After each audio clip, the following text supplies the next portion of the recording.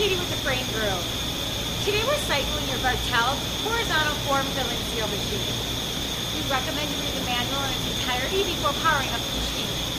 The voltage is currently set for three phase, 480 volts. Today we'll be cycling this microwavable bag of popcorn at 100 bags per minute.